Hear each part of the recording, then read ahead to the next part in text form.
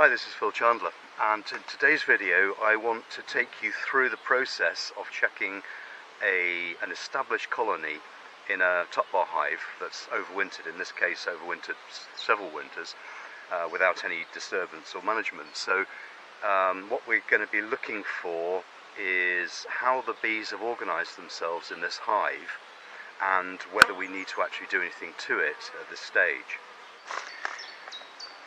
I'm using um, a camera with an internal microphone this time just to uh, see what difference it makes so I'm hoping that the audio is going to be acceptable. You should have a lot of uh, lot of bird song in the background which won't be unpleasant I think. So as I said I'm going to wear a veil for this because uh, these bees are not bad but they're they can be a little bit stingy.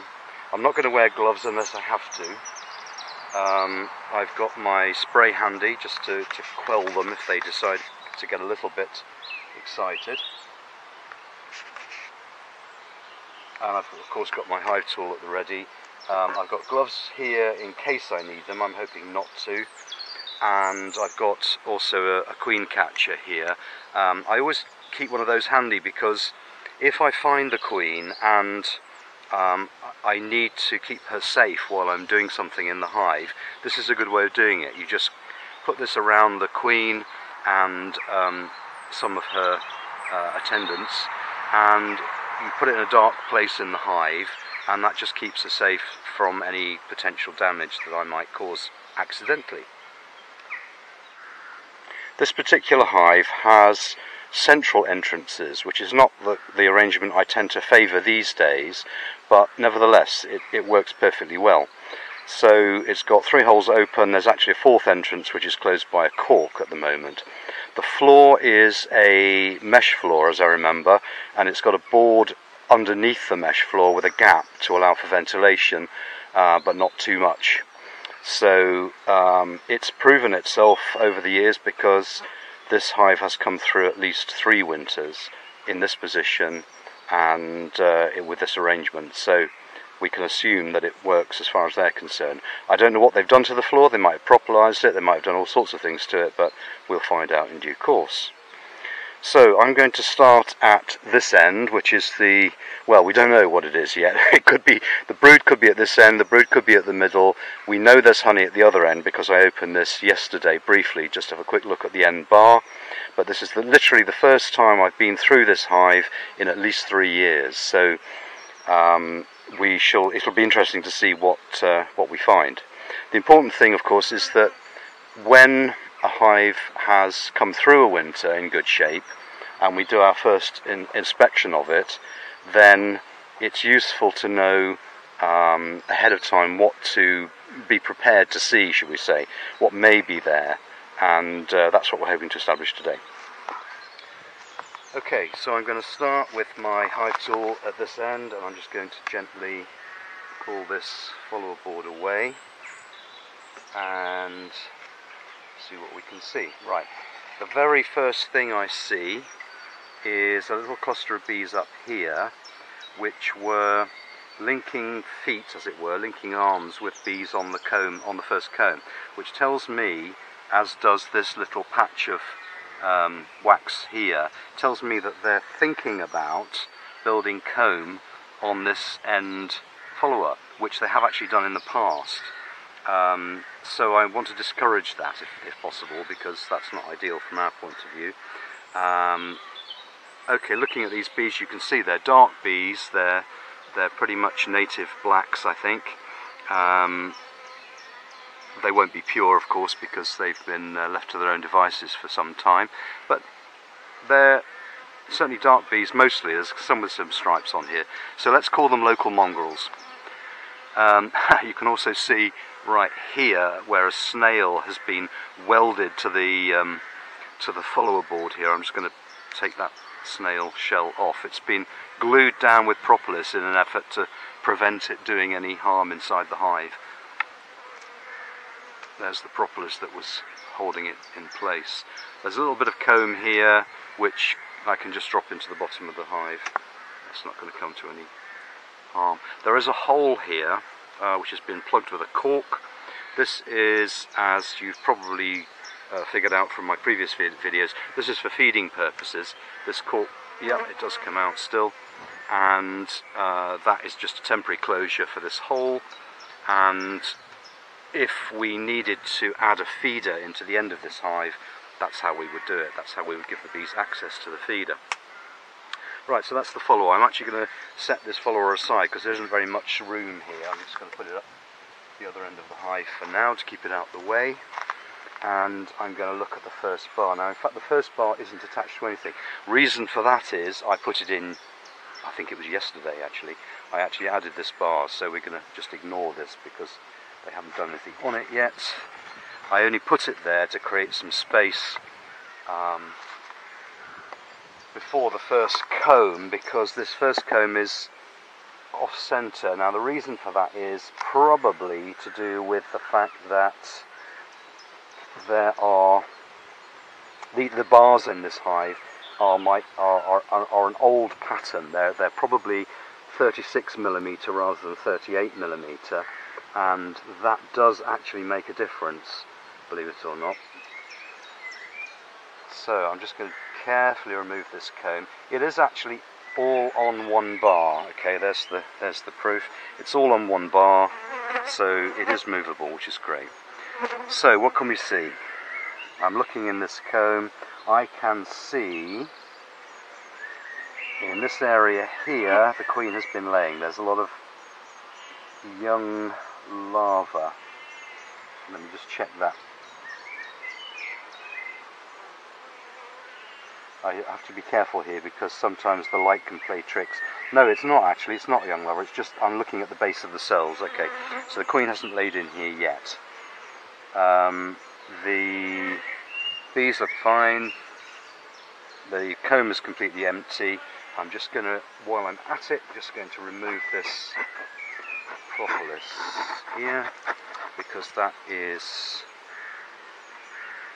going to gum up the works if you leave it. Right, so I'm going to put this comb back in here, leaving a space. Now, when you're going through a top bar hive like this, it's a good idea, I think, to move one bar back at a time, create a space, just one space, and then move the next one.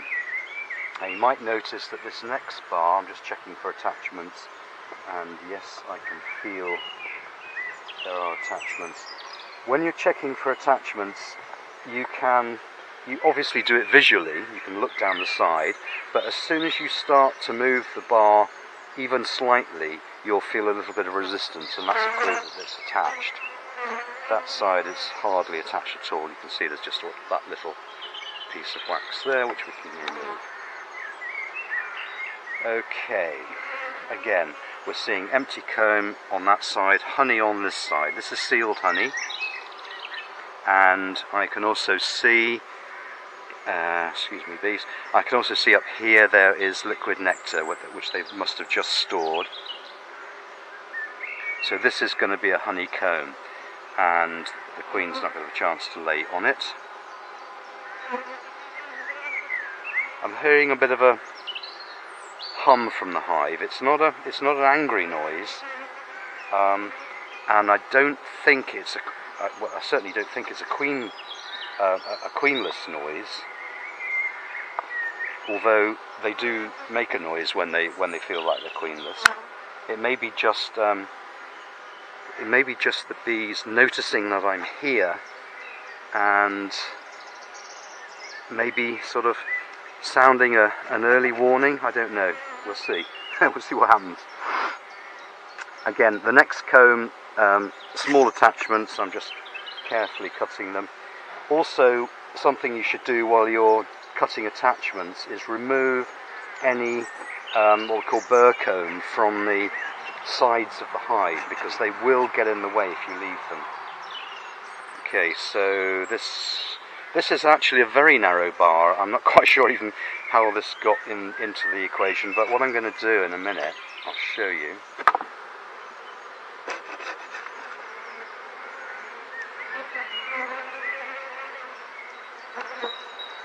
If you do, if you if you attempted to use narrow bars, I mean, don't don't you know, let me stop you experimenting by all means. But I, I did go down to experimentally. I went down to 32 millimeters at one point, which turned out to be um, not very successful at all. They, they made a lot of cross comb, and I have a feeling this is one of those bars, but in fact it looks to me even less than 32 millimeters. So again, I don't know what it's doing in there, but there is a there is something we can do about it. We can widen, effectively widen that bar by adding um, a wooden shim to one side. Now that would that that will bring it up to I would say 36-ish millimeters there, um, which will do for now. It's better than it was. Just being careful not to squash bees. Right. So you'll notice what I've done here is I've drawn the second bar back to the first bar, and it's important when you're working to do that so that you don't leave lots of gaps for several reasons. One is um, you will find it extremely inconvenient to have to come along and close up multiple gaps full of bees. Um, also, um, it, it, releases the uh, the heat from the hive much more quickly if you if you create loads of gaps. So stick with one gap.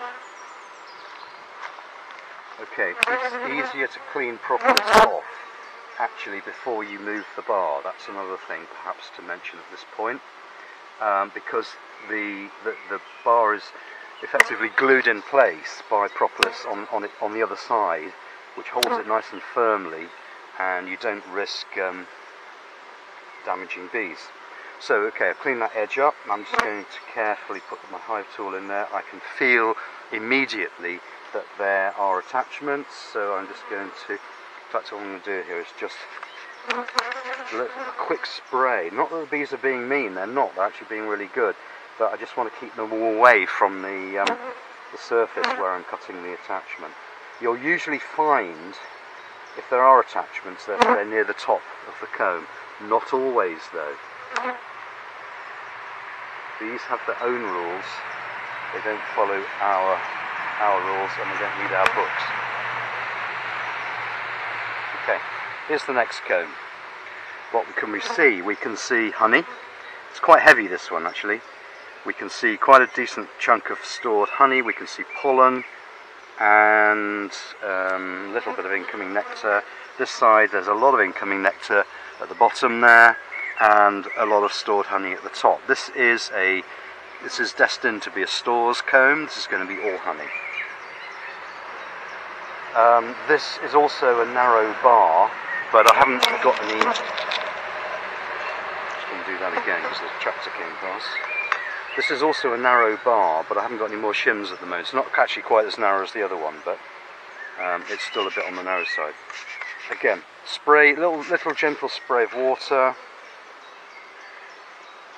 This, um, this spray bottle, by the way, now at the moment contains um, birch sap, water, and also a bit of propolis that I've wrapped around the stem of the uh, of the uh, suction uh, pipe, if you know what I mean, right? Because some of that, some of the active ingredients in propolis are water soluble, so that will gradually dissolve into the water, and well, hopefully, it'll do something uh, to help the bees in their efforts to remain germ-free. Okay, the next comb, hive tool in. cut the attachment, I can feel, yep, there's definitely attachment there. There's also one a little bit lower down. Don't think there's one on the other side. No, we're good. Right, here's the next comb. And again, similar story. This time, loads of pollen. I hope you can see that multicolored pollen. Loads of honey. Loads of honey this side. All good. This again is going to be stores.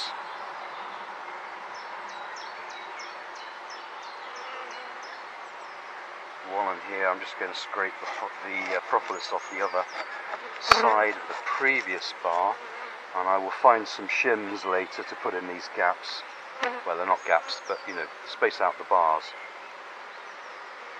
okay uh, bees are behaving themselves very nicely at the moment because well as I said at the beginning the old bees are out foraging so they're pretty much out of the way. Yes, some of them come back, but they they busy themselves unloading their pollen and nectar. So um, again, they don't cause a lot of trouble. Okay, next comb. Uh, again, small attachment. Any uh, any comb that you find that's got a decent amount of honey on it, they're the ones that are likely to have attachments because they are the heaviest. And bees seem to have a way of sensing the weight of a comb. And they make little braces uh, onto the side if they think there's some danger of the uh, of the comb collapsing. So how they do that, I have no idea.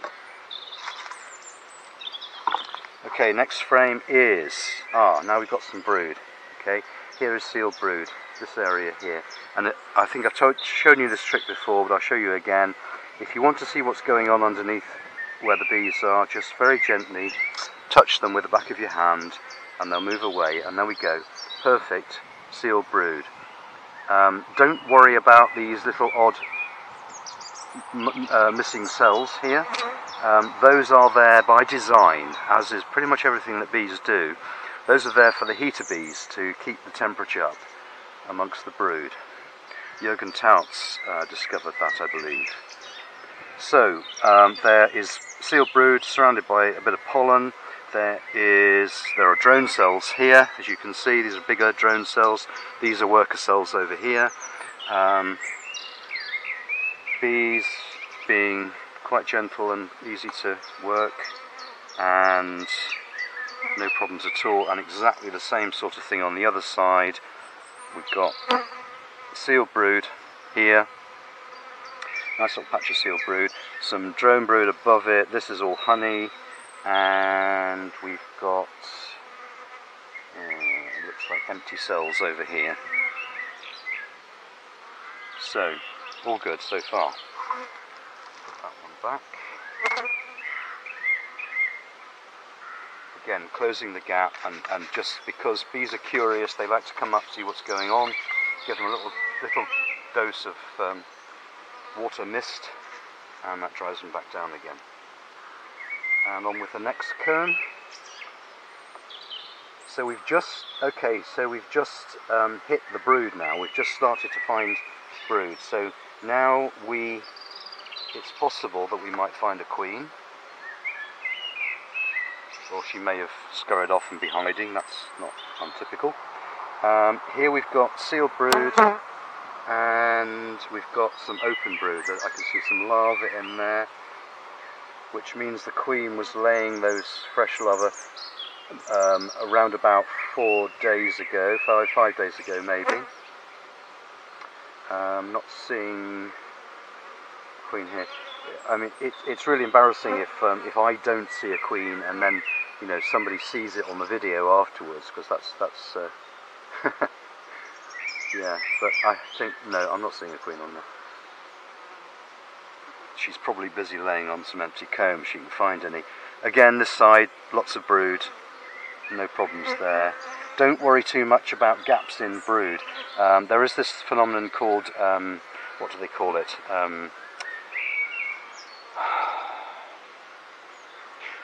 Pepper pot pattern, something like that, where you see lots of apparent gaps amongst um, brood and people start worrying.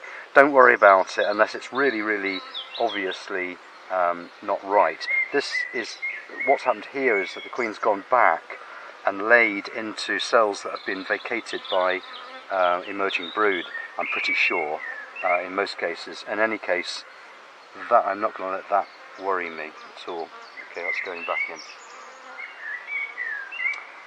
Propolis removal.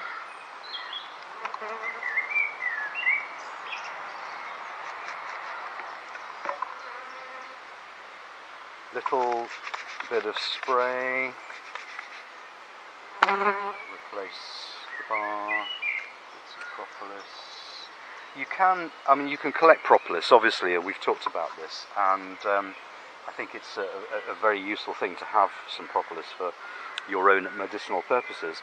Uh, but also you can, um, and I have been doing, just drop it back in the bottom of the hive because I think the bees may be able to reuse at least some of it. Okay, our next little um, puzzle is that we've got we've got um, an extra bit of storage here because what's happened is uh, I put this on here to cover um, fondant in the, for the winter.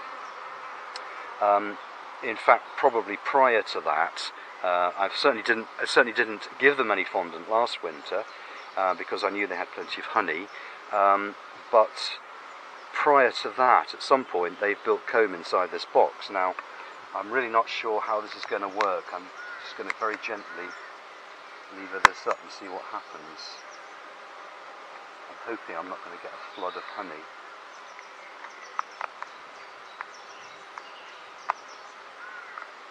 Uh, yeah, I am going to get a flood of honey. Um, so anyway, the uh, the bees have put honey in that box,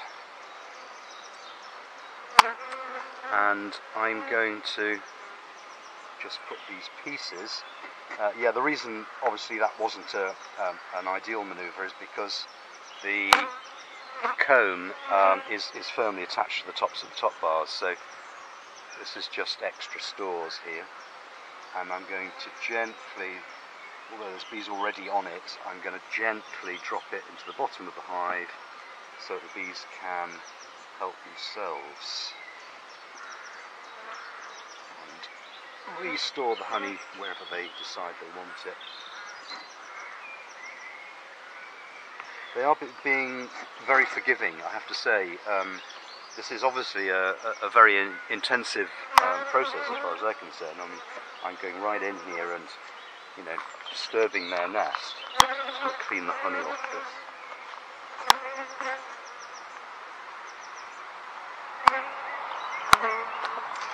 I am disturbing their nest uh, more than somewhat, and you know they, they could be easily be forgiven for getting quite stroppy and defensive, but they're actually behaving very nicely. Okay, so here we have.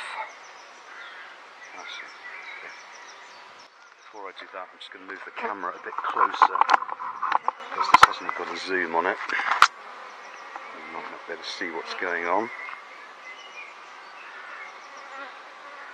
Okay, good. Right, this comb, nope, sorry, this one, this comb has got wall-to-wall -wall brood. It's uh, there are some, I think, emerged and refilled cells there, which I'm perfectly happy with, and I think I've just knocked the camera, haven't I? Maybe not.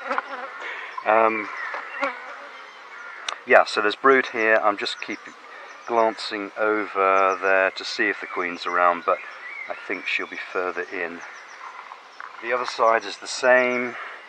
Um, you can see the, the concentric rings. This is caused by the queen laying in the middle and then laying another ring around that and then laying uh, and then the bees emerging. And in fact you can see right here there's a bee. What's happening here? Oh shoot. Um, we've got some play cups on there and I've just broken a comb Alright, so now I'm in trouble.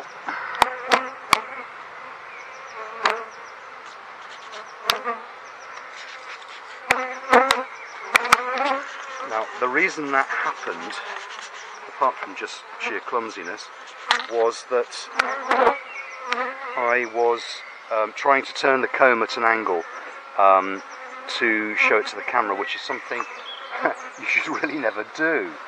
And there are ways of handling comb in a top, from a top bar hive which okay I'm just going to spray some I'll show you the proper way of doing it once I've calmed these guys down a little. They, they got a bit upset with me because they figured they knew that something was going wrong I think at that point. Okay well this is this is a case in point of you know things things go wrong, okay, when you're doing this. And um, although I've been doing this for uh, with top bars for nearly 20 years, I can still make mistakes like that.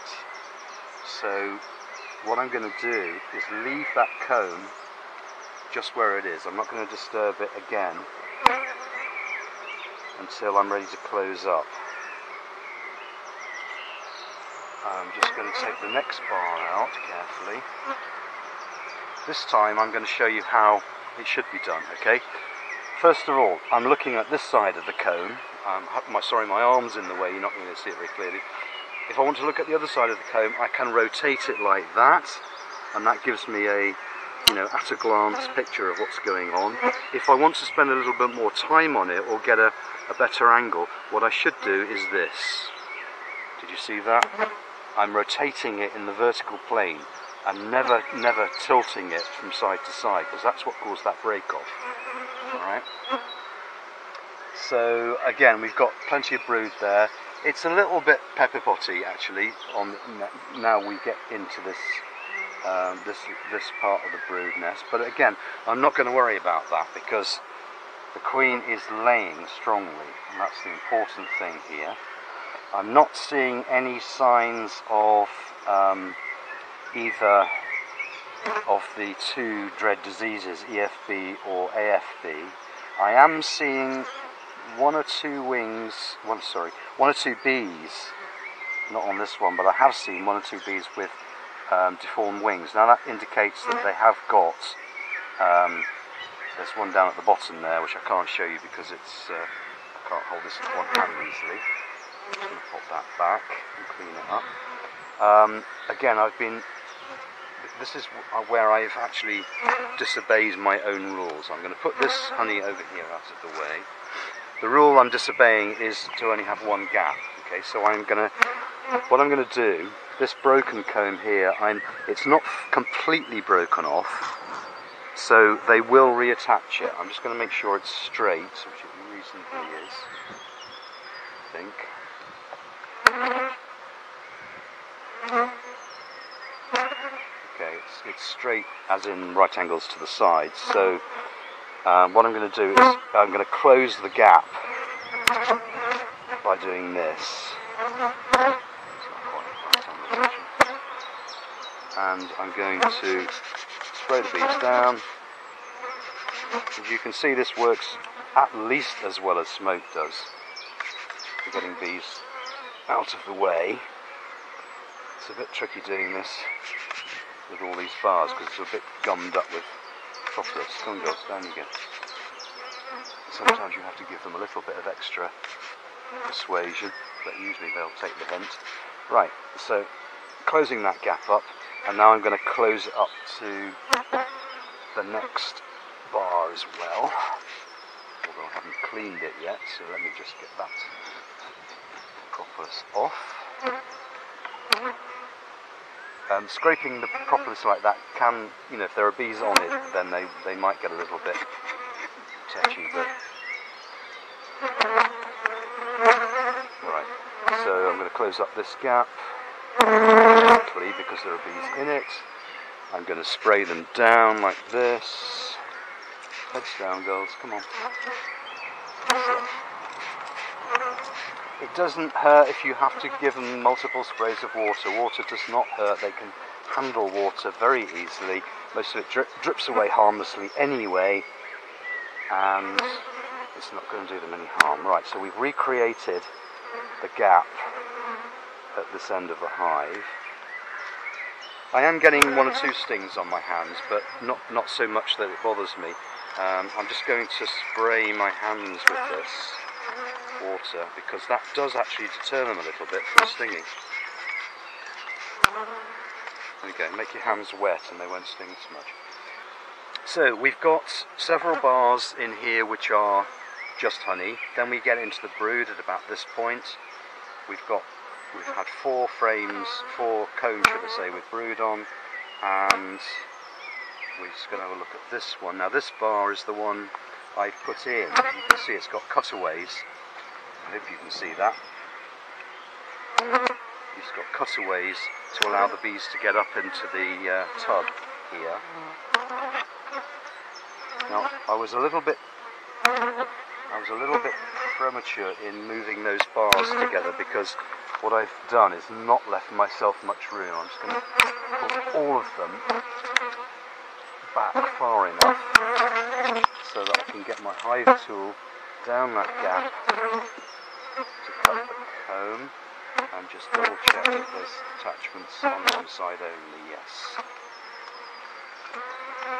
Now I'm right above the entrance here and that means that the older bees are coming in and they're noticing that something's a bit kind of out of kilter. There's some human messing with their hive, so they could be a little bit more defensive here. Um, I didn't mention it on the on the previous comb. There were a couple of little queen cups developing, but I don't. They didn't look like they were going to come to anything. Again, plenty of brood here. I still haven't seen the queen. If you spot her, leave a comment and tell me what uh, what the timing was when you saw her. Um, I'm usually reasonably good at seeing queens, but not always. Okay, here this side, um, we've got. Uh, I'm being careful here because this is a comb that could break if, I, if I'm not careful. You can see again the concentric rings of brood.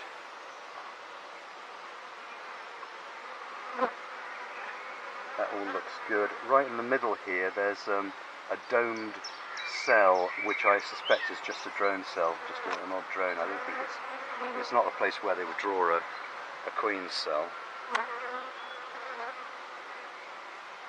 Lots of pollen on that side. Okay, so everything's good so far. And I'm going to go back to my system of just leaving one gap. Now these bees are getting a little bit frisky, a little bit friskier than they were.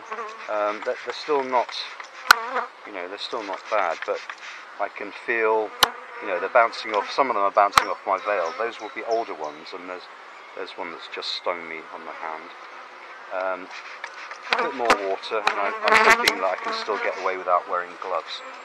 Okay, we're good. Um, close up this gap.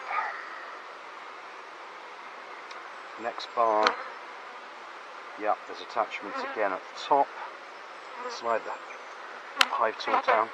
There are other things you can use instead of a hive tool for freeing um, attachments. A, a, bread knife is a favourite uh, because you can lay that flat against the side wall of the hive and um, just slide it down to cut the attachments. Okay, next comb. So, again, loads of brood, honey at the top. This is very typical, it's the sort of thing you expect to see right now. They've got stores, they've got uh, incoming stores, which is the, uh, the, the nectar you can see just by my little finger here. They've got pollen um, around the, the bottom of that ring, and they've got brood, and everything looks hunky-dory. Given the time of year, which is in, in, in our case early spring, They've come out of a, of a wet, cool but not cold winter.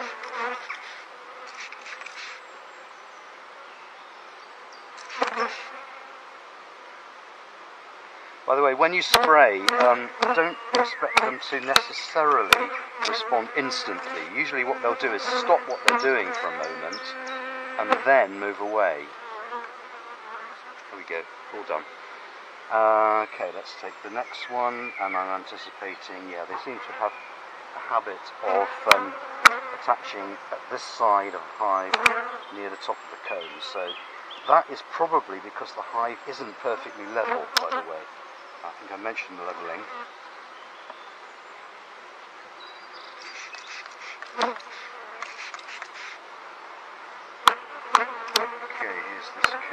and what have we got? We've got brood, nice solid pattern of brood. Uh, still haven't seen the queen, haven't seen any what they would call serious queen cells. There's what looks like a, an odd drone cell or two in the middle of that patch.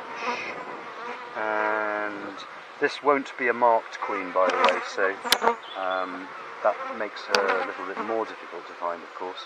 And these are somewhat small bees, I would say. They, they look a little bit on the small side to me, uh, uh, and I don't know why that is. It could be my glasses, of course.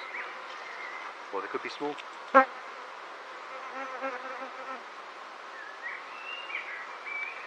Um, or as they say, some people say, reverted to their natural size, which, yeah, I'm not sure about that.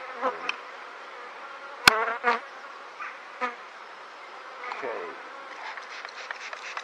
Yeah, they're definitely um, showing signs of. I'm just going to spray it around my veil to create a bit of a, bit of a cloud. They're, they are definitely showing signs of um, more defensiveness, but we are nearly at the other end now. We're sort of two thirds of the way. Close that gap. And I think we're probably just about to run out of the brood area and into probably their winter stores. What's interesting to me here is that none of the honey I've seen so far has been ivy honey, and you can always tell ivy honey because it goes um, chalk white and it sets like um, well, those of you who know what Blackpool Rock means, uh, it, it, it, sets like that. It's really sets very hard and crunchy. Um, no uh, brood on this one at all. Uh, this, but there is honey, and it's not ivy. The reason I'm surprised is because there's a lot of ivy around here, and it's it's the last crop of the year, as it were, for the bees. It's the last thing they bring in, and so you almost always find um, a good amount of it here. This time I'm not, whatever reason. It could be, for example, that at the time the ivy was in flower, uh, they, it was, well, a couple of things. They might have already felt that they had enough stores, of course, that's one thing. They maybe just weren't bothered by collecting ivy. Um, another reason is that maybe they don't like ivy. um, not all people do, maybe not all bees do. Uh, another reason possibly is that um, they did collect ivy and have subsequently it. Um, what other reasons can I think of there not being ivy in here?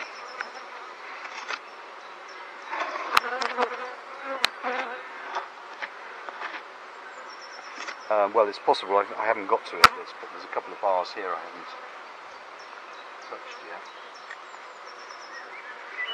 Uh, interesting they don't seem that interested in the uh, in the open honey here. Normally, when you put when you expose honey uh, in an apiary, usually the bees are all over it straight away. But they seem much more interested in the camera right now.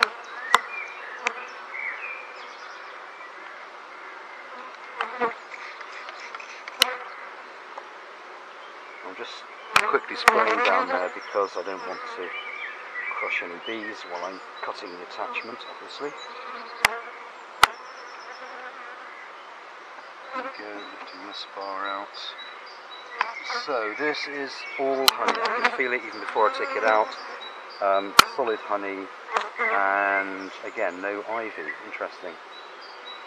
Lots of nectar coming in. This is going to be stores.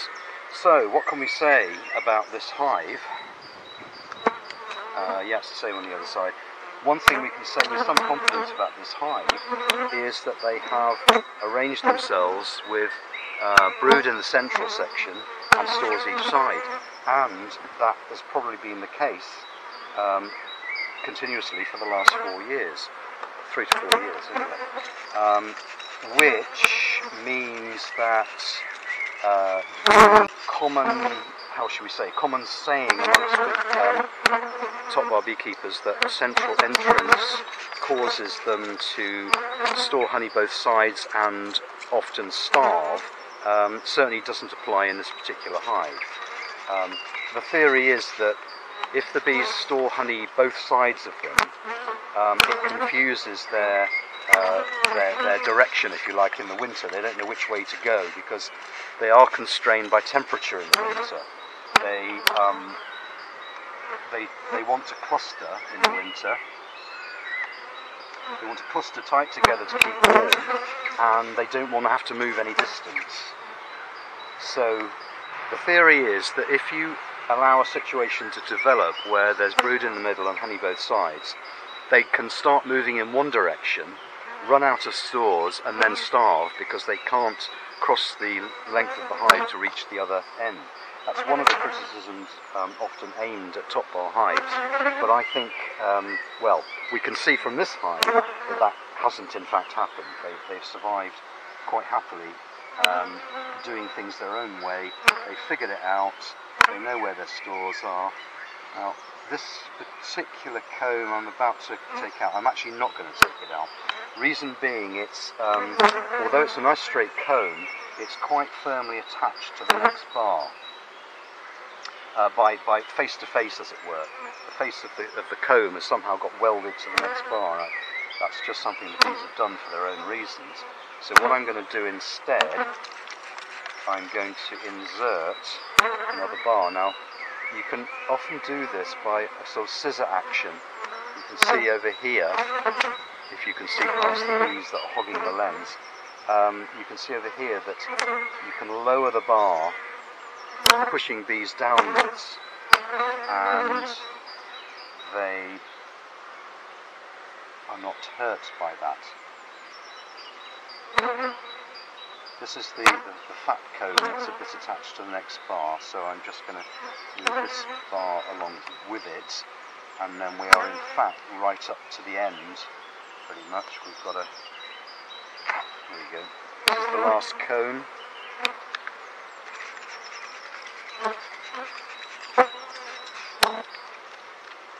The last comb with uh, anything in it um, here it's right up against the, the, the end follower board, which I've also got in my hand. Again, honey, um, there's signs here, probably a mouse has been nibbling it. No, no doubt it's the mice who made this, um, you may have seen on my other video, uh, the mice who were nesting in the end, here we go, nesting in the end of the hive, uh, made a nice uh, wool, wool and moss um, warm insulated uh, winter nest and um, they were the ones, no doubt, who helped themselves to a little snack um, of honey every now and again. Um, I see some of these bees are attention-seeking um, types, and they are uh, trying to attack the camera right now, um, presumably just to get themselves on YouTube. So we're going to have to call it a day there. Put this all back together. Um, yeah, some of the some of the older bees have obviously decided that it's time to put up a defence, and you can see on my water bottle here, they um, they really go for black things. The camera's quite dark; it's a dark grey. The uh, tripod is black, and this um, spray handle is black. So yeah, you need to watch out for that. They can, they can So what am I going to do about this this uh, this little bit here? So this nail go. So bees coming up through that gap. Um, what we can do here, I'm going to take out one of these lumps of honey so I can eat it. In fact, I'm going to take two lumps out. And the rest of this, the rest of this honey is attached to the top, and, and it won't fall out hopefully. So I'm going to put it back over the gap I'm going to put this um, reflectix over it. Now there's a number of things I could do here, should I choose to. Um, I'm just going to put the, uh, going to take that cork out because it's in the way.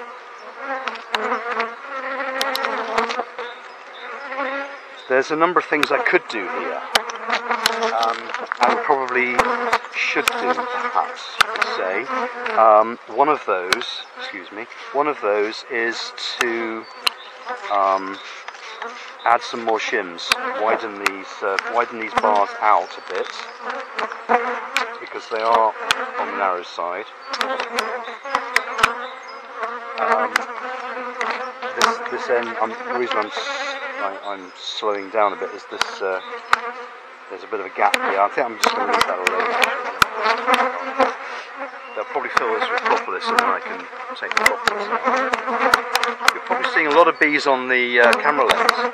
Um, as I said, they, they, they, they really take a dislike to cameras sometimes. Either that or they just want to see themselves um, on film, who knows.